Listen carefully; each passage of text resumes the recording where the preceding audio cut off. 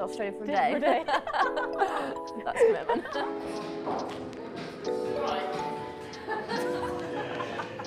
what goosebumps. so how did you first get into cricket?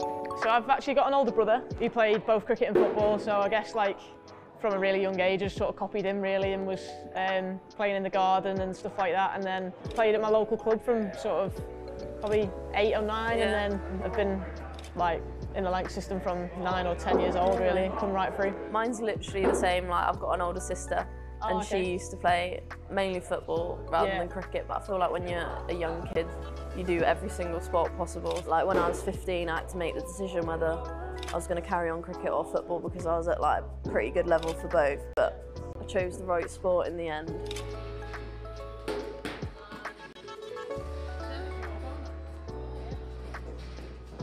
What do you reckon has been the biggest changes in women's sports since from like when you started to now? I think one of the main things is visibility. I feel like when I was younger, I couldn't see a clear pathway to be like a professional footballer or professional cricketer. Growing up, it was sort of hard to see that, and I had to be in a boys' team, train with boys all the time, and nowadays you don't necessarily see that as, as often because there's so many more girls playing football. There's so many televised games. You see a lot more young kids realise that things like that are possible, and that's when you get more girls involved in the game.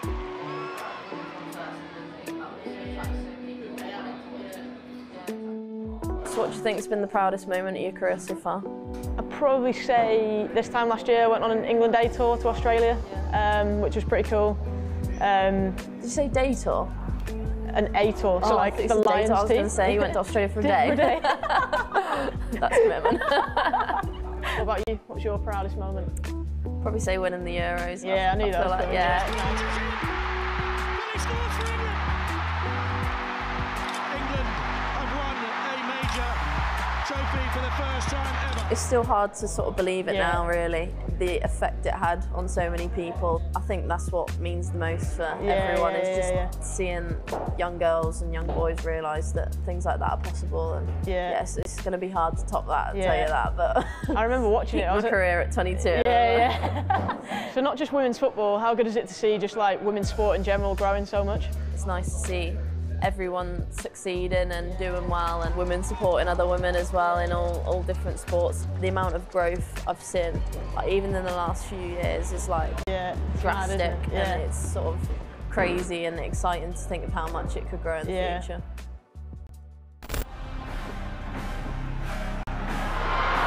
Here's Kentadali, deflection, 4-3. They've beaten Manchester City here. Maren Mjelde, brilliant penalty. All three points for the champions now. How much is it now an uphill battle considering you've had back-to-back losses so early on in the season? And I think, you know, if, we, if they're given time, I think this is going to be a really good team. New Kelly's cross in, and Hemp is there. The home side have got their first win. Oh, it's a great corner right onto the head of Shaw. Kelly again. Managed to get the cross in once more, and there's Coombs, and that's 1 1. Hasegawa. Well touched on here for Khadija Shaw. And you just knew what was coming next. Kelly gets the cross in. Tackling. City lead. It's one back by Shaw. Options in the middle. Kelly makes it two. We've got a big, strong group of characters in that dressing room there, and I believe in every one of them. We're really looking forward to the challenge. Welcome to Matchday Live for what is a huge clash at the top of the WSL table as Manchester City take on Chelsea at the Academy Stadium on Women's Football Weekend. City currently on a four game winning streak and are two points behind Chelsea at the top of the table. They know a win today will put them firmly in the title race going into the last two months of the season. Bunny Shaw's got 15 goals in 15 games in the WSL this season, four goals ahead of Rachel Daly of Aston Villa, and she'll be looking to increase her tally and secure the Golden Boot.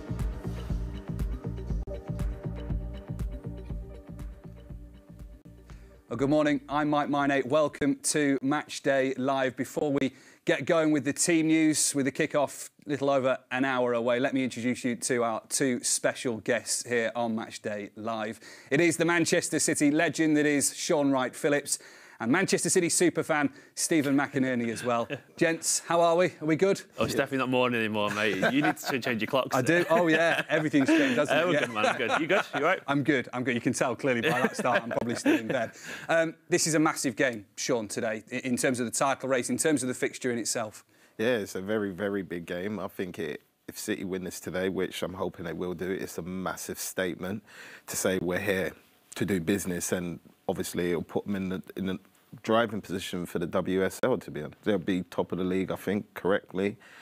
And then it will just be for Gareth Taylor and, and the girls to build on and kick on and keep doing what they're doing. But then it will be a chasing game for everybody else. Uh, let's have a look at the team news then with kick-off an hour away. Uh, we'll look at your starting 11. Two changes from the game against Aston Villa last weekend. Coombs is in for Castellanos. Houghton is in for Casparij So, Ellie Roebuck starts in goal for Manchester City this afternoon.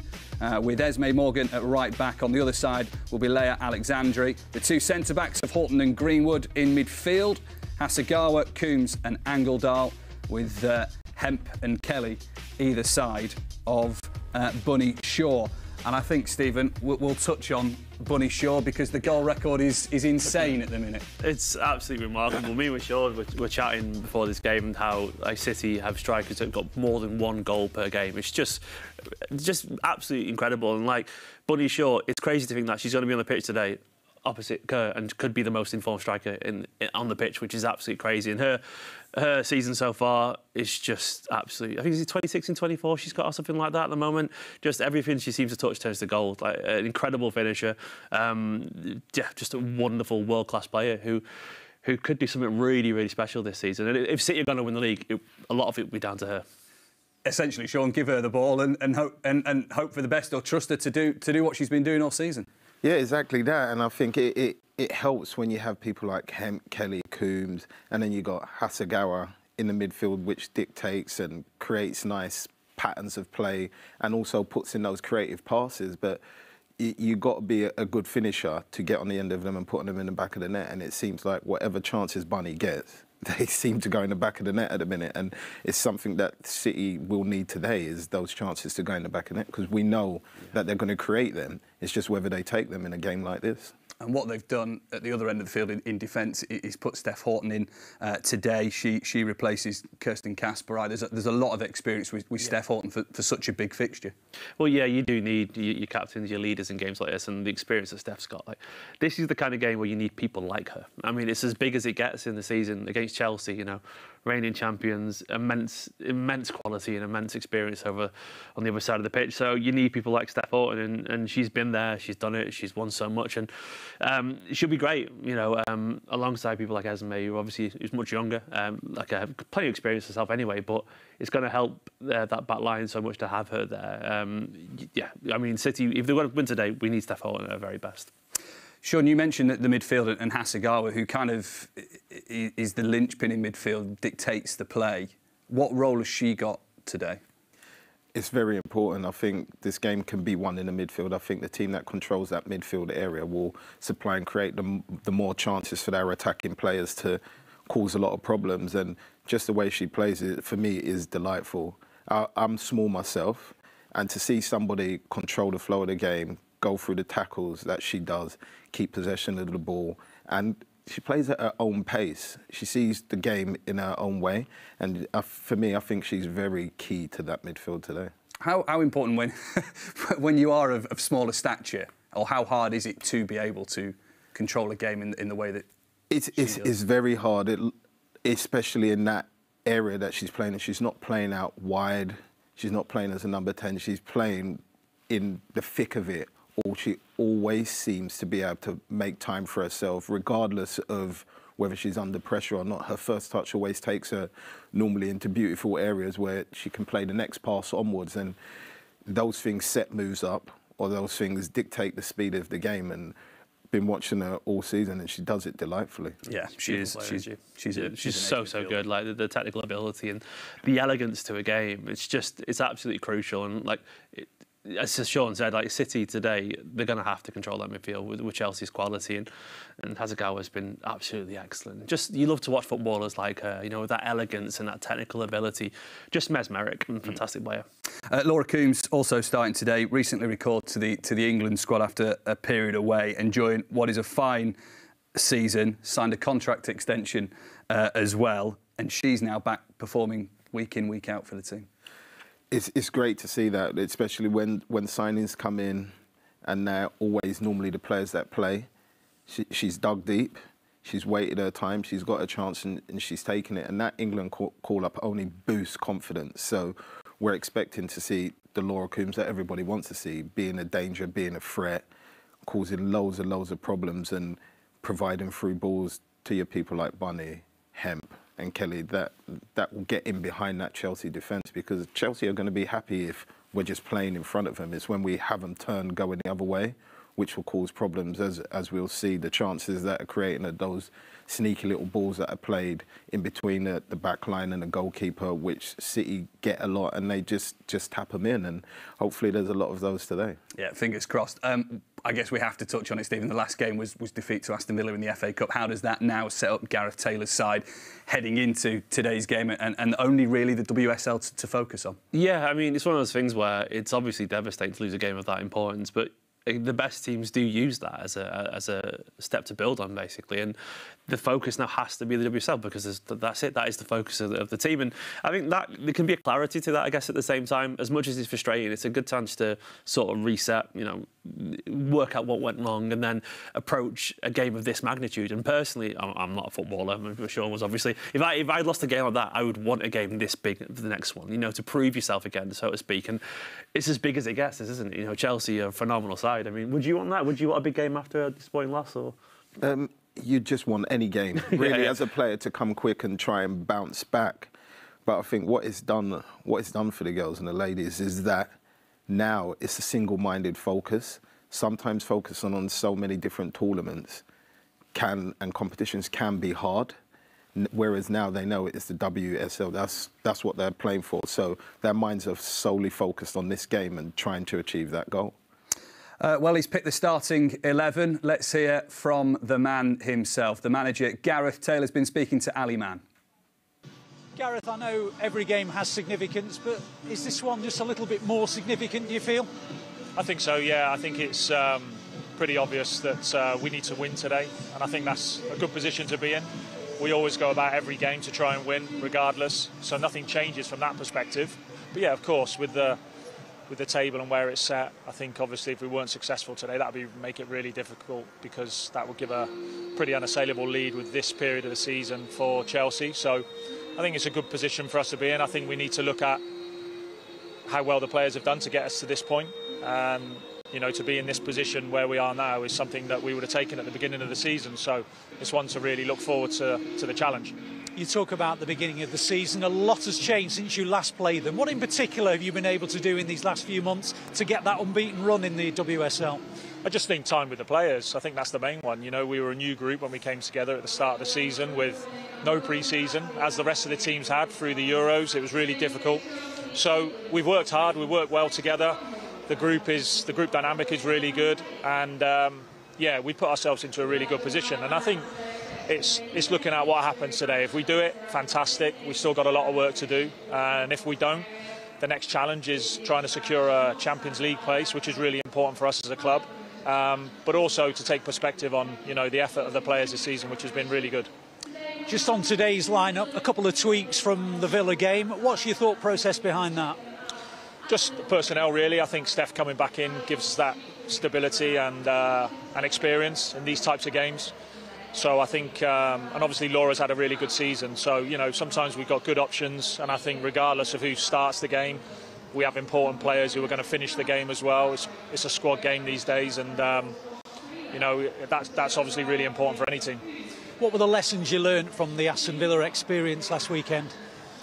Take your chances when you're in the ascendancy and keep things tight at the back. The game never changes. I think it's uh, making sure that it was the first brace we gave away since the start of the season in terms of goals against against Chelsea. So, um, which was disappointing for us because we've been really good in that space, uh, and we've been good at the other end of the pitch as well. So, sometimes if you don't take those moments, um, or maybe clearly define better chances, you're always going to run the risk of, of putting the game at, at risk. Just one final thought. You know how strong they are. They're in, sandwiched in between two Champions League games for them. Are there areas that you particularly targeted with them today? Are there things that you've noticed that you can exploit today? Well, I think we need to start the game quickly. I think that's, you know, without going into too much detail, one of the things we looked at is to start the game quickly, get after them. You know, albeit they travelled in the week, it wasn't too far. They've had a tough game against, you know, the, the European champions and got a really good result. So we want to capitalise on any kind of um, complacency on their part and, and try our best to get a really good start in the game. Well, the best of luck with it today. Cheers. Thanks, Alistair. Thanks for your time. Uh, we've done a VI, VAR check in the studio. It is still morning, by the way. I was wrong.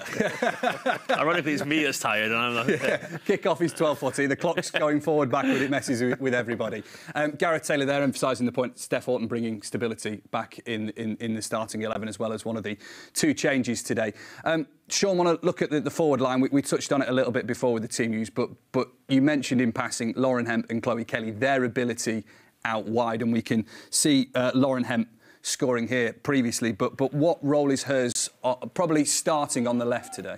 Um, is, is, is key. I think that sh she's a provider um, for Bunny, so she needs to be at her best today, and as well to get on the score sheet. And those chances are, are stuff that you see now in, in wingers that they they prop it in the back stick for when the crosses come in from their their opposing side, and that's a great ball in, and that's the area I was talking about. Those balls where between the defender and the goalkeeper, neither of them know which one's going to go for it. So in that case, they both left it and she gets a tap in. But as well as putting them away, we're expecting him to put those sort of crosses in as well for for the attackers to, to get on the end of them too. It's, it's such a a dynamic front three, isn't yeah. That each one can can provide one of those balls in the box, Steven, or, or likewise do Lauren Hemp and, as we'll see in a minute, Chloe Kelly, and, and finish those opportunities. They make football look simple. I mean, that's the best way you can say it. I mean, that whole uh, attacker, the opposite side attacking the back post, it's just such a simple thing, but it's it's not easy to do. Otherwise, we'd see so many wings of 20, 30 goals a season. But that front three in general is just so much pace, dynamism, skill, and work rate as well. Like, obviously, you can't be as good as they are without the intensity that they bring to the game. But yeah, uh, Chloe Kelly and Lauren Hemp, they're just, they're just brilliant wingers, aren't they? They're just absolutely pivotal. And you know, Bunny wouldn't be having the season that she had without them. And mm. obviously Laura Coombs behind them as well. The whole that front four is just so dynamic and aggressive, and, um, and that will hopefully cause Chelsea problems today. I mean. Uh, I think I've seen a few times as well that they've switched sides of the pitch, haven't they, a few times? So they're so versatile, which is it's just so hard to stop. I think Chelsea, obviously top of the league, are scoring goals and, and winning games, but that front three's got to be one of the, the best in, in the women's game right now, isn't it? Um, I personally believe so, and I think their stats and what they've been doing show that as well. Um, but when you're at the top of the league, that's the normal side that gets talked about the most. So I think that is why today for me is, is if they play well and like Gareth said, get after them straight away. I think they could shock Chelsea early on, and then City for me will be in the ascendancy because we know they control most of the games anyway with the way they play. So if they get that early goal and control the game as well, I think it'll be very difficult today. Yeah, absolutely. I mean, the early goal, especially at home as well. Like you want, you want the crowd behind you. They will be because they always are. But that the confidence that you'll get from that, and then knowing how they can keep the ball and pass it around, and knowing that they can work exceptionally hard, Chelsea will then have to try and pull out, score a goal, and hopefully with the pace that City have got on the counter, mm. yeah, it could be absolutely crucial. And there's a good chance of that. Once you've got that forward line, you've always got a chance, and it, it's just such an electric forward line that I think Chelsea will be a little bit apprehensive. Chloe Kelly on the left or Chloe Kelly on the right? Chloe Kelly on the right. Yeah? Yeah. yeah. Why is to that? start with, I think I think it will start that way. Yeah. I but that's the beauty of it, is it? She can play wherever and be as impactful whichever way she plays. And I think in that goal that we just saw on, on that clip, I think you can see, obviously Bunny shuts the ball down, but both wingers are central at the time and Bunny is on the left. So to have that movement in between them so fluent, it only makes it harder for defenders to pick up because most centre backs do not want to go out wide and defend, whereas it doesn't bother, it doesn't matter with our attackers; they'll take their defenders anywhere on the pitch.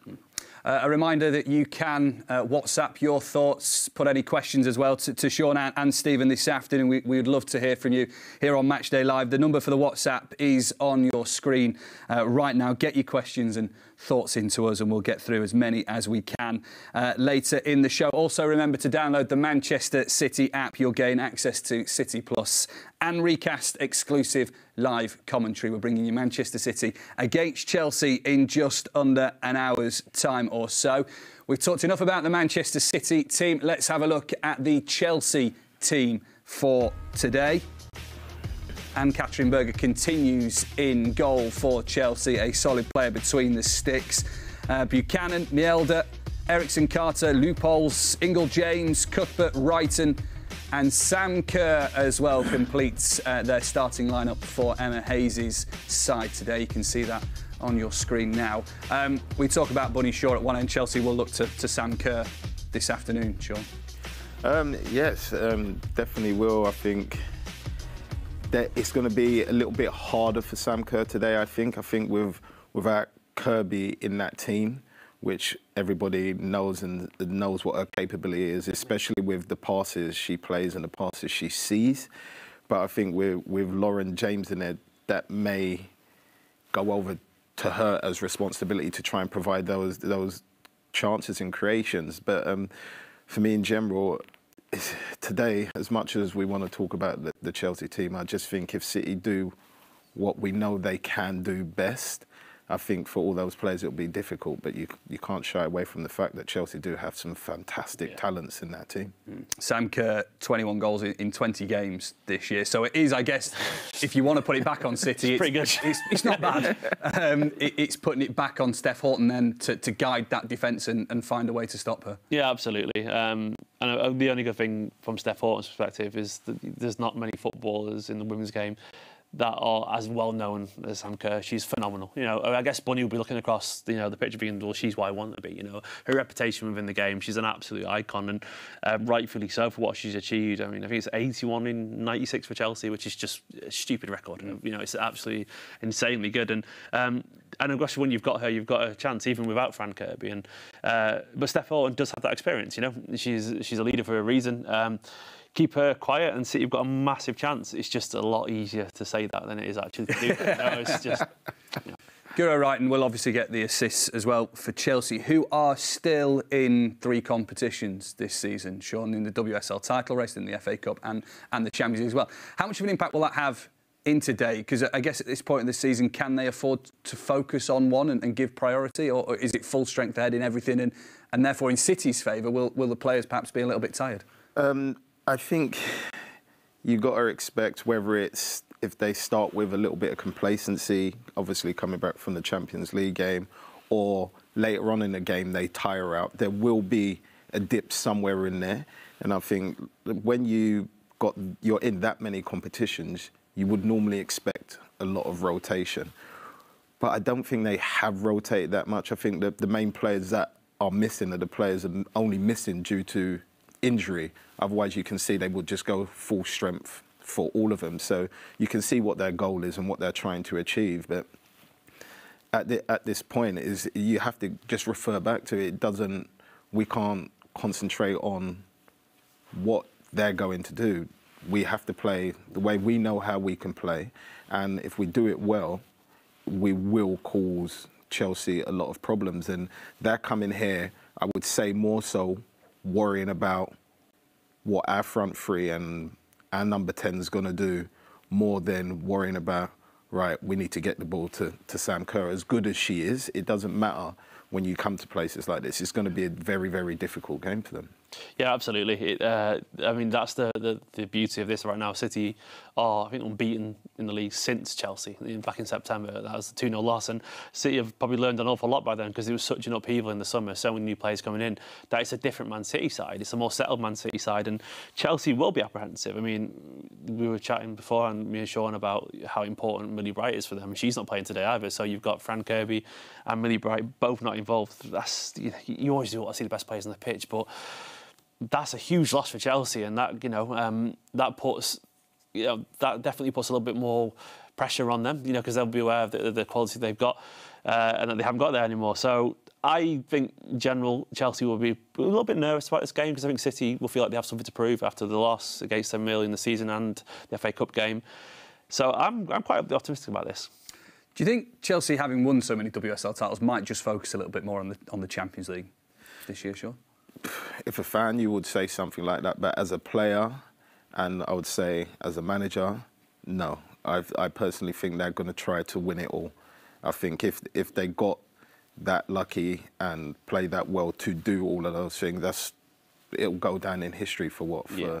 however long we're, we're we're around. So for me, I think they're going to go for it all.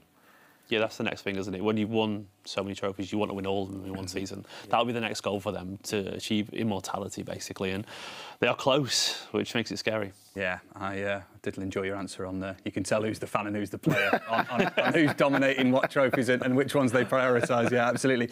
Uh, let's hear from the Chelsea manager, Emma Hayes, uh, talking about Gareth Taylor's side. It's just another game. You know, you guys, you know, spend the time building up the drama.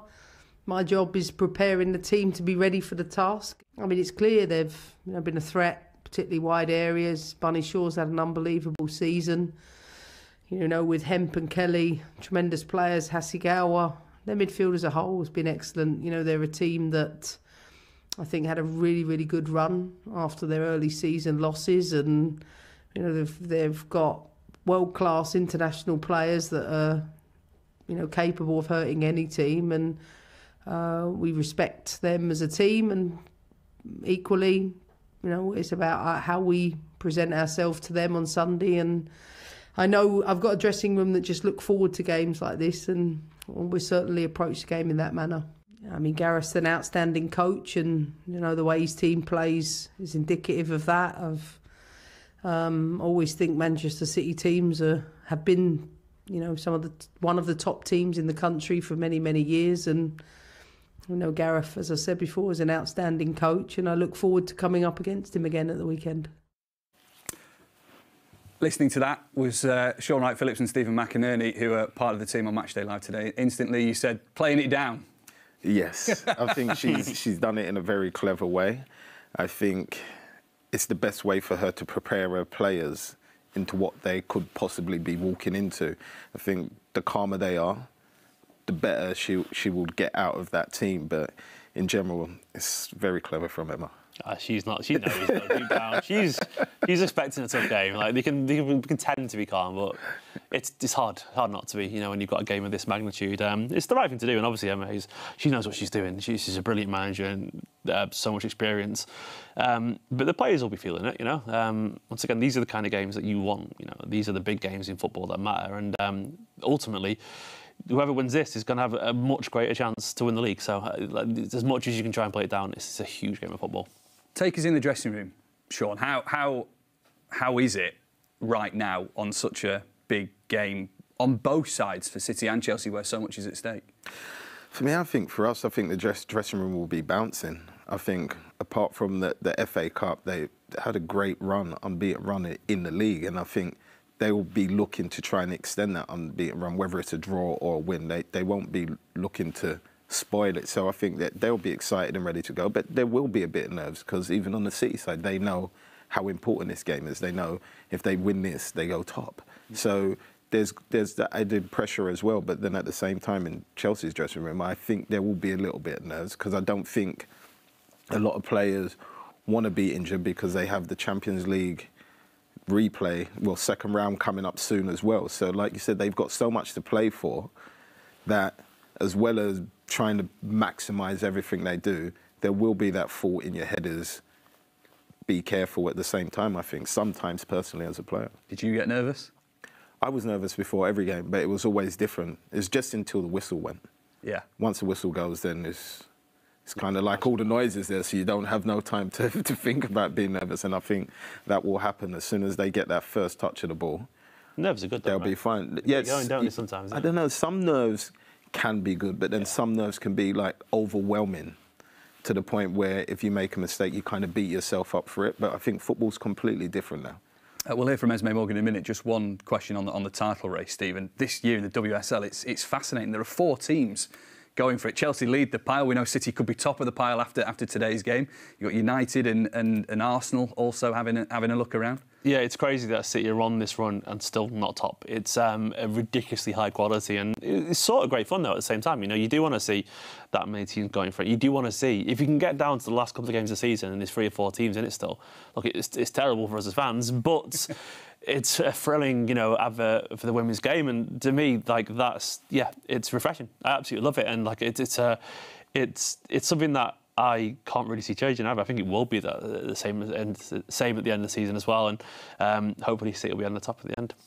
Well, we heard from the Manchester City manager Gareth Taylor earlier. Let's hear now from Esme Morgan, who was in the studio this week ahead of the big game with Chelsea this afternoon. Both teams have beaten in the league since September. Um, we've obviously played Chelsea a lot over the years, had some brilliant fixtures against them. What are you expecting from them this time around? Think it's always such a tough fixture, usually not many goals in it. I think the game we played towards the start of the season against them when we lost 2 0, I actually think we were dominant for the first half and arguably probably deserved to get a bit more out of the game. But those are the way those games go. It comes down to being clinical, fine margins, just taking your opportunities, and we didn't do that. So hopefully that's something we can do in this game. But they're always so organised defensively, really dynamic, and they are ruthless in attack. So we've got to keep ourselves really tight. But I mean, they've had a Champions League game away this week, so potentially fatigue coming into our fixture could be a factor because travelling can take a lot out of you. And I just think we've got a lot of confidence that we can bounce back from last weekend's result. And I mean, whoever we were playing, I think we'd believe we were capable of winning, but everyone feels really up for this one, so I'm excited. And home advantage this time, of course, and a sellout crowd expected as well. Um, as a player and as a City fan as well, obviously no secret there. How does it feel to be playing in front of that, those packed out terraces and with a really vocal crowd behind you?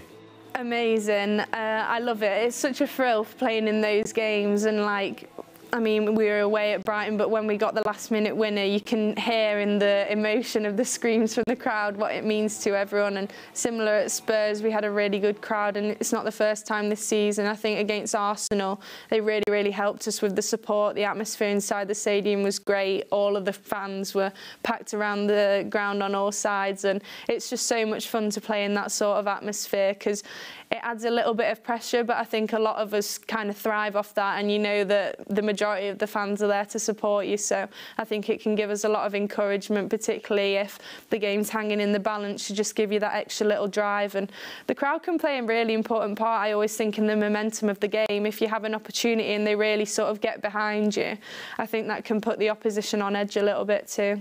Thanks for your time, Esme, and good luck on Sunday. Thank you.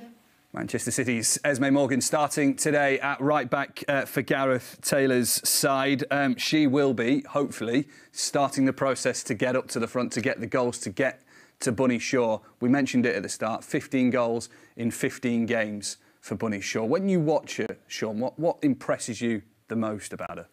Her mobility, uh, uh, determination to try and get on the end of crosses, and it's great for the way City play because normally when the ball goes up there, that's the that it sticks. And I think if if your striker, especially that solo one, keeps the ball, that gives time for your your wingers, your midfielders to be able to move into those dangerous positions to create that third man run or to pop the ball off and even get a shot off. So the fact that she scored that many goals and plays the way she plays is for me is phenomenal because she works so hard as well. Yeah, I should say 15 goals in 15 games in, in the WSL. It's 26 in all competitions yeah. for, for, for the uh, Jamaican this season, who's now working with Shaun Goater as well. So the, the, it, it's probably only going to get so even better. Yeah. Say, yeah. when he starts going off a shoulder, off a bum, that's when we know Shaun's had an influence. Is it is it a club record? I think as well, isn't it? Yeah. Which is just that, that's look, we're seeing records broken every aspect of the club. It's wonderful stuff and just an instinctive striker. You know, um, as Shaun said, like the mobility and the physicality of the game is so impressive. But just it, people like Bunny, they make goal scoring look easy, but it isn't. You know, it's really hard, I presume, to score that many goals so regularly, and uh, and it feels like it comes so naturally right now. And I think obviously the setup around her, you can't do it without Laura Coombs and you know Chloe um, and um, Lauren Hemp and so on. But Bunny is right now the superstar of this Manchester City side, and it's really exciting to see how she's built on last season as well, where she had a good season, but this is just electric. Mm. You know, this is on, on another level, and um, and she right now is the best striker in the league as well, and that's you know, given the fact that Sam Kerr plays in this league as well, it's just so so impressive. Interesting point that second season at the club is that was it? Like I say, first season was fine. It was good. Yeah. This season's even better. Was that just getting used to the WSL and now she knows what she's dealing with week in week out?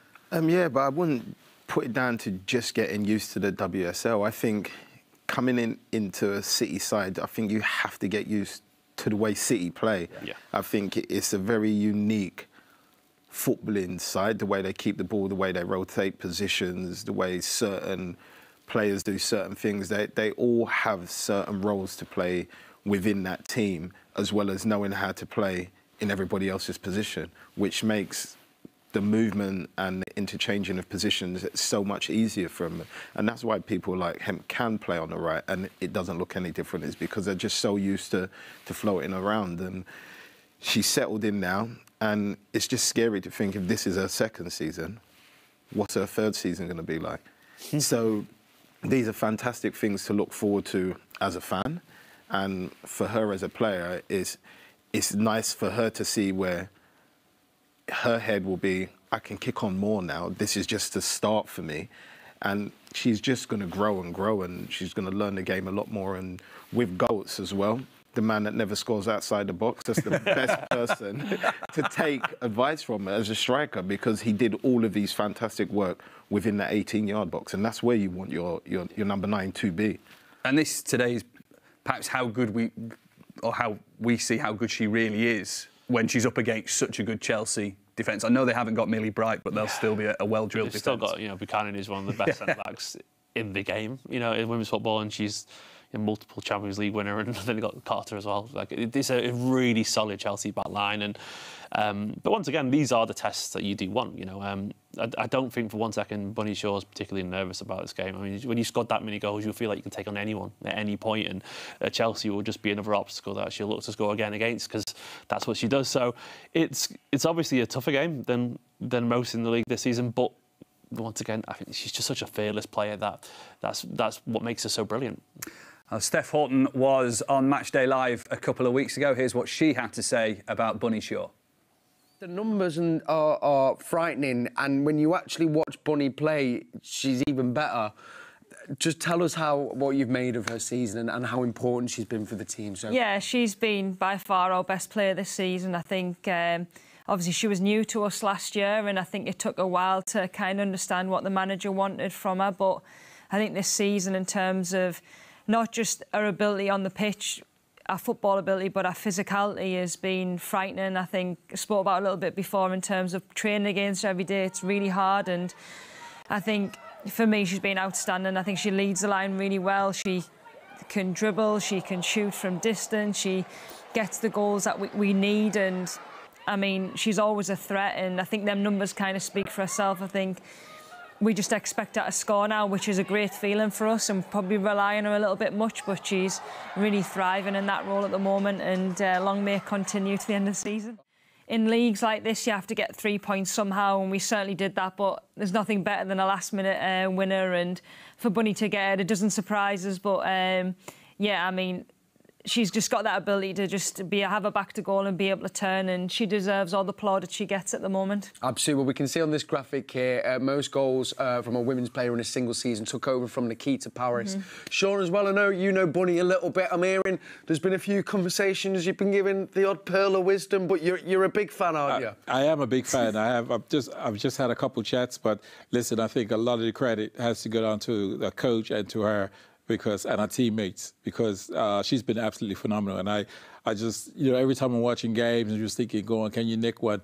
Uh, and she she's scoring important goals. Uh, she's in the right place. That goal that she just scored. She, if she goes anywhere else, she doesn't score, but she turns in the area where there's space to get the shot off. Um, and I, I loved it because it's probably not the cleanest shot, but they but they go in, and, and you know she's she's going on and scored there. So I'm really pleased for her and uh, for the girls. It's just that it's really exciting because. You know how the women's team's doing, how the men's team's doing in terms of between now and the end of the season. It's just just really exciting. I mean, I was talking before of her, just saying it's so exciting to look at between now and the end of the season, and, and everything is well, a lot of it's still in our in our own hands. There you go. That's Steph and Shaun Goater giving their opinions on, on Bunny Shaw. We've been asking you to send your thoughts and questions to Steven McInerney and Shaun Wright Phillips on WhatsApp today. You'll see the number a little bit uh, later. Um, Amy says, question for Steven. Do you think that Bunny Shaw and Erling Haaland have similar attributes? And who do you think will end up with the better goal scoring record this season? For ratio, it's very close, isn't it? I think Erling plays more games just by lieu of the fixtures, but I love that we've got them both, by the way. It's just ridiculous. Like, City it's, it's just weird watching obviously the men's team for so long. We had a false nine and we, we didn't have the that guy getting all the goals. And now, now we've got you know Erling and Bunny just banging them in. It's it's wonderful. I think I think Erling's going to have more goals, but for ratio, I don't know. It's a goal per game. Bunny's going to challenge him, and that's that's class. I absolutely love it. I mean, that's what you want to see, isn't it? Goals are the most fundamental part of football. So you got a striker like that at both teams. It's just we're eating good. Yeah. It's really good. uh, it's lovely. There's no other team like it, is there? Where the men's and the women's team have got such phenomenal strikers, Shaun. At the minute, it's it's great to watch. It's, it's fantastic to watch, and like I said earlier in the show, it's, it's fantastic to see where they're actually going to go because they're both very, very early in their city career. so they're both still young and both still learning. So breaking their own record. Yeah, yeah. So it's, it's, it's, a fantastic journey to actually be able to witness and be a part of. So I'm, I'm looking forward to this challenge. Uh, a couple more questions. JT says, I've got a question for you, Shaun. Uh, what's it like to be in a title race at this point in the season, knowing that you are so close to getting your hands on the trophy? It's it's a lot of pressure. I think you heard Esme say in a little interview. I think it's, it's pressure from the perspective of you know right now is the business end of the season. You you can make mistakes, but you can't afford to make those mistakes that lose you the games because then realistically it's an uphill battle.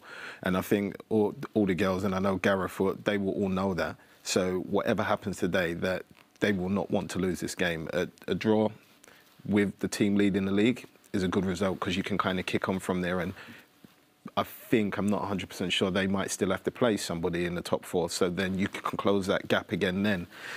So that that's what the girls will, they will go out with a, a lot of confidence today, knowing that they have a chance. They got some key players missing, and you just focus, and it, it, you kind of get in a frame where it's tunnel vision, where you just want to keep just bouncing after game after game, and hopefully the adrenaline will take them through that start. Keep your uh, WhatsApps coming in. We'd love to put your questions to the guys, but let's go inside the City uh, Academy Stadium right now. Speak to your match commentator, Ali Mann. Ali, good afternoon. What is it like? We, we know a bumper crowd's in there today, so what is it like uh, inside the, uh, the CFA right now? Do you know what? I, I love the atmosphere inside the grounds um, on, on women's games. There's a larger percentage of, of kids than there are at the men's games, and you always get that feel of extra excitement, extra buzz, extra sort of you know, it's like a novelty as well as, as, as being involved. And you've got that little contrast between those who are desperate for City to win it today and those who are just here to enjoy it. We've had a battle of the bands. We've had uh, every ticket's been taken, every available ticket's been taken. So it's everything you want that makes this feel like it's an occasion, like it's a final, which in many ways, of course, it is for City. Um, I, I, did an interview pre-match with Gareth Taylor and, and I asked him how important this game was, expecting him to say, you know, they're all important, to be fair he said they have to win today, and that just adds to the expectation, the anticipation, and you get the feel that this is a huge game for the club. Let's be honest. Yeah, a huge game for both sides. Really, it's it's one where I think we're going to enjoy watching it because both sides can't afford to lose. Both sides have to win. Really. Yeah, it's a fascinating title race. I mean, we're talking about City v Arsenal for the men's uh, Premier League title, a two-horse race, uh, with all due respect to everybody else in the top four. This is a four-horse race. I mean, three points between the top four. It might come down to goal difference. You've no idea how this is going to end up. Uh, but today is City's chance to take three points off Chelsea. For Chelsea, not that they want to draw, but it would suit them a lot better than it would the Blues because Chelsea have got that extra game in hand. But you know what? This is a huge game for City. They have to win it. I feel that they have everything in place to win it. Remember, Chelsea are in the middle of a two-legged uh, Champions League quarter-final against the defending champions Lyon. So they've got a real massive game in a few days' time, and City have been able to concentrate on it. OK, they got beaten in the FA Cup quarter-final last weekend, but still, to have a full seven-day preparation to focus on a game that's significant, and, and said it himself, it's something that he would like to be in, these kind of games where they know that a win for them is certainly more significant than a win for Chelsea in terms of City have to win it. Chelsea can afford not to. Let's have a look at some of the key battles on the, on the pitch today. Steph Houghton versus Sam Kerr, Bunny Shaw versus uh, Magdalena Eriksson. They're, they're probably two of the standout ones anyway.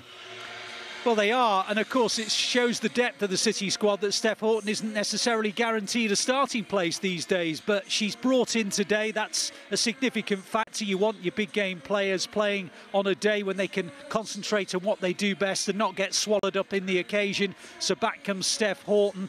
Uh, and of course, Laura Coombs comes back as well uh, to sort of take the place of uh, uh Diana Castellanos. A bit, bit of a kind of a, an energy, a midfield energy in there. But yeah, that's a key battle with Steph Houghton against Sam Kerr, who is, if you like, the Bunny Shaw of Chelsea. She has been for some time. And who can stop Bunny Shaw? I mean, she's in this incredible run of run of form, almost a, a goal a game throughout the season. Certainly a goal a game in the last 15 matches. Um, two key areas, two key battles. But I think uh, although that of course is a key area. I think it's who can stop Laura uh, Lauren Hemp rather, because Lauren Hemp is such a significant player for City. Bunny Shaw will feed off the ammunition that will come down that left side. Of course, Chloe Kelly will try and do her bit down her side, but for me, Lauren Hemp is the person who I think is likeliest to becoming attacking Eriksson and trying to maybe force her back on her heels to provide the ammunition in the centre for Bunny Shaw. So key battles throughout the pitch, but yeah, definitely can the other defenders stop the other strikers who are in form? I'm going to give you the same question we gave Steven a minute ago. Uh, Bunny Shaw or Erling Haaland, you watch both. Both have similar attributes. Who's going to get the better goal scoring record this season? it's a funny one, isn't it? Because they'll play fewer games, of course, in the women's game. Bunny Shaw will play a lot less matches, so the actual number will be probably, well, it will be, it'll be lower, uh, provided Haaland stays fit throughout the rest of the campaign. But if you look at the goal per game ratio, it's likely it might go the way of Bunny Shaw because the, the number of goals she's got per the games and the minutes she's out on the pitch probably puts her slightly ahead. So it's a funny one. How do you compare them? The answer is you can't because they're both incredible goal getters. And I think the beautiful thing about uh, Bunny Shaw is that she's worked in the last few weeks with Shaun Goater, who's now officially an assistant coach to Gareth Taylor, who's worked on a few little things, a few little tweaks, and the goal scoring continues. But that little bit of movement down the sides has been improved and enhanced because he started to introduce little things, Shaun Goater, into a game. Uh, I mean, he was a prolific scorer with incredible goals per game ratio himself. So she's now got that little extra edge, Bunny Shaw. I'm sure Erling Haaland's been having that kind of one-on-one um, attacking coach for a long, long time. So it's a difficult one to answer in terms of the number because you'd say Haaland's bound to get the bigger number, but it might just be Bunny Shaw gets the better goal per game ratio. You mentioned Chelsea playing in, in the week with this double header against Lyon. Do you think fatigue will be a factor today in, in City's favour? Could be. Could be. I mean, let's not underestimate it. Uh, this is a big opportunity for Chelsea to win the Women's Champions League. It's, it's the holy grail in the women's game, just as it is for the men. And they've got the better of Lyon on the first leg. So this is a huge opportunity for them to go further, to go deep, maybe even win it. So it is a distraction. I know Emma Hayes will say it shouldn't be, that these are professionals, that they can concentrate, that they can keep getting up to that level and up to that level week in, week out. But it has to play a psychological advantage. And also, let's be honest about it, because they lost the FA Cup quarter-final last weekend, City's women know that this is their last chance of silverware. Yes, they want to qualify for the Women's Champions League by getting that uh, top three finish, but it, realistically, this has to be their focus. So I think it probably does give City just that slight little edge. And on games like this, with two heavyweights like this, might that just be the decisive factor? Last one, Ali. It's just got that big game feel about it, hasn't it? Oh, it really has. I, I, I mentioned it a few minutes ago. Um, I don't often hear managers say this is a must-win game, but Gareth said it. And it doesn't mean to say that I don't have to dress it up as a commentator. I don't have to hype it up when the Gareth Taylor, when Gareth Taylor, the head coach, says we have to win this game today, that tells you something. It's a huge game. I've just got a feeling, a gut feeling, that this might just be City's day today. Whether or not that means they ultimately win the league, there's too many uh, little twists and turns to happen. There's quite a few significant games. They play Arsenal, of course, uh, in their next WSL game. But I've just got a feeling they might just have that edge today with Chelsea's minds just slightly, ever so slightly, on that Lyon second leg in the quarter final. Ali, enjoy the game. I will. I think he will. Uh, Ali Mann there, he'll be providing your commentary on City against Chelsea uh, this afternoon uh, in the WSL big one in the title race. City, as Gareth Taylor said, feeling it might be a little bit more of a must win today. Let's go back to your, your WhatsApp questions uh, and get the thoughts of you guys uh, watching Matchday Live uh, at home. Steven, one for you from Marshall, who says, How good has it been over the last five or six years to see City's women's team build so much success and really build their stature among the best in women's teams in Europe. Yeah, it's it's wonderful. It's wonderful for the uh, the city of Manchester as well in general. Like um, one of my best friends is an Everton fan, and he can't wait to bring his daughter to the women's games here at, at, at the, the, the CFA because you know it's just such an important thing for so many young women growing up. And um, yeah, they've done an incredible job, you know, uh, developing this side and uh, putting the quality so high so quickly. You know, it takes a long time to get that legacy, but City, you know, have already got such a fierce reputation within the game. So yeah, it's been remarkably, remarkably well done. More about the title race for, for you, Shaun. You're, you're, the man with the experience uh, here. Um, Michelle says, how difficult is it to go on a run at the business end of the season when the pressure's on? It's hard. I think what City have done is, like we know from the Chelsea game, they've been on an unbeaten run. So for me, it's for them, it's more of the same. So once you get in that that groove and in that rhythm, it normally just kind of keeps happening until there's that one setback within the league. Um, but for me, you just it's it's that single mind thought that they've got. They they don't know how to lose in the WSL at the minute. That's what they've shown, and it's just a matter of that mentality. Some people say it's naive, but sometimes I learn in football, naive sometimes is, is kind of the best way to yeah. be when you're on that winning streak because you don't fear anyone. You just worry about you, and it doesn't matter who you play against. You're still going to do you, and I think that's what they've shown so far in the league, and they just need to keep that keep that mentality going. Um, Jess says how important are leaders for games like this. We spoke about Steph Houghton a little bit earlier. How important are leaders for games like this, and uh, who did you enjoy playing alongside who had that leadership mentality? Do you know what? It is, I think people think it's it's a weird one, but um, Paul Dickov, he he had that weird mindset that it might seem silly, but it didn't matter who he was playing against or what game it was, he was going to kick somebody.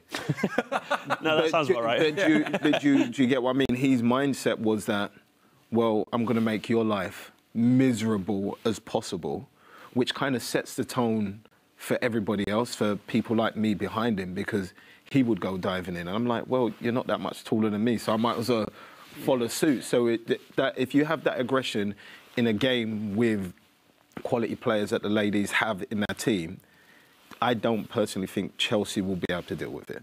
And it's just been, can you maintain that for 90 minutes? And the chances you get, can you take those chances? And that's what it will come down to today. Like Gareth said, it, it, it happened in the FA Cup game. If you do not take your chances, at some point, the other team will get a chance. And so you take that and it puts Chelsea straight on the back foot. It kind of also brings it back. I know we've spoken a lot about it to, to, to Bunny Shaw and she has that real physical element. She's not afraid to throw a shoulder in or stick a leg out if she, if she needs to get physical at any point. Well, you, even go back to like Erling in the men's team, like he's very similar as well. Like you have to have, it's. I think you probably find that across a lot of um, elite footballers, like they're a lot more physical than we give them credit for. Like, you know, that physicality is essential. It's usually, you know, uh, symptomatic of their just determination to win. So Bunny has that. Um, and to be honest, like in the modern game as well, the striker is the, the first line of defence you know, with the pressing. So you've got the person who's starting the, the, the, press being so aggressive, and so determined. As Shaun says, you know, about Paul Dickov, it does filter through to the rest of the team. And obviously, Bunny uh, is aware of her role in that, and it's absolutely crucial.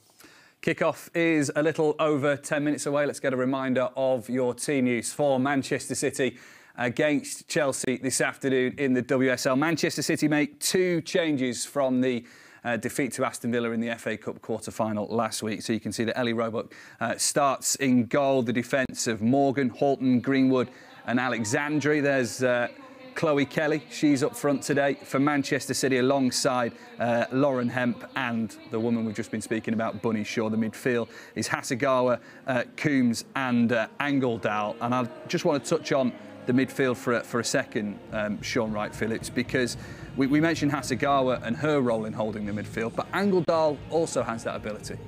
Yeah, she definitely does, and I think those two complement each other very well because I think Angeldal gives that time if she sits, then you'll see Hasegawa, Hasegawa higher up the field, which we've seen a pass in the clips where she played that beautiful reverse ball to Bunny, and that only happens if the other sits. So the way they play together complements each other, and it also allows Coombe to have that freedom to roll into certain areas because of the, the type of players she has behind her to get her the ball. If she's in those number 10 spaces, those two can find and break lines with those passes, which when you're that number 10 role or, or a winger, you need midfielders like them two sitting deep to get you the ball. That's what you rely on, and it's, it's the perfect combination. Yeah, you can tell that both have played as a 10 and as a 6. They're just both such uh, wonderfully versatile players, and there's a real intelligence to the game, and once again, work rate. You know, like neither of them uh, are scared of putting their foot in, and there's such an elegance and also a brutality to that midfield. I love it, like the, the physicality, but mixed once again with that technical ability is such a wonderfully balanced midfield. Castellanos out. She scored against Aston Villa last weekend, so she's on the bench. How will she be feeling because it's such a big game, or does that then fuel you up? Should the manager call on you in the game that you're ready to go and, and fired up? I guess. I think it, it, it, will fuel her up. I think within the squad that Gareth has built, there's a lot of honest competition. I think um, when you have somebody battling for your position behind you with the qualities that they do have, and that's a fantastic header, by the way.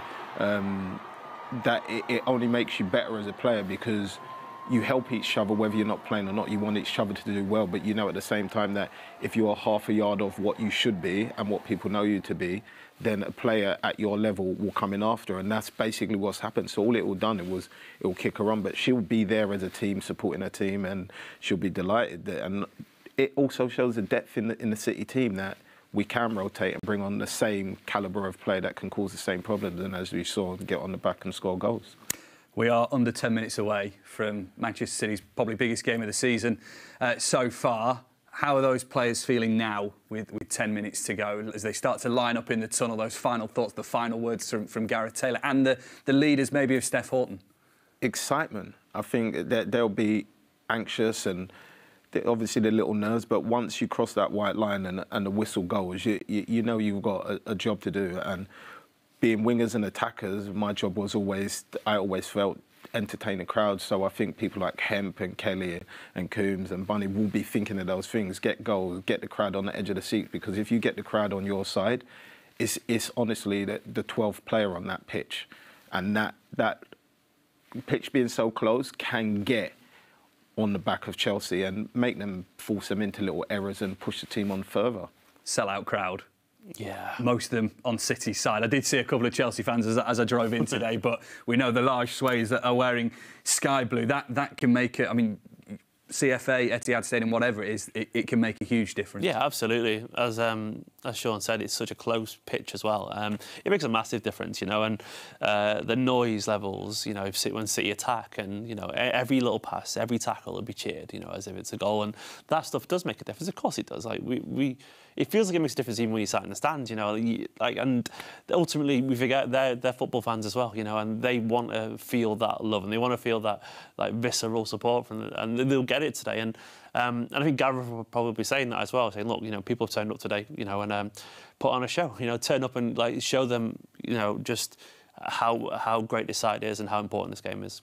I think it's come to that time where we ask you both for your score predictions as well ahead of such a big game. Who dare go, go, first? first yeah. Who, who wants to stick their neck on the, the line? Yeah. I'll go for it. I'll go for 2 1. 2 1 Man City. Oh, I should have gone first. That's what I was going to say. Yeah. But I'm going to just level up. I'm going to say 2 1 as well. Both 2 1. Excellent. Mm. First scorer. Is there only one person in this category? You know what? I'm going to actually say Lauren Hemp. Lauren Hemp? Yeah. Bunny.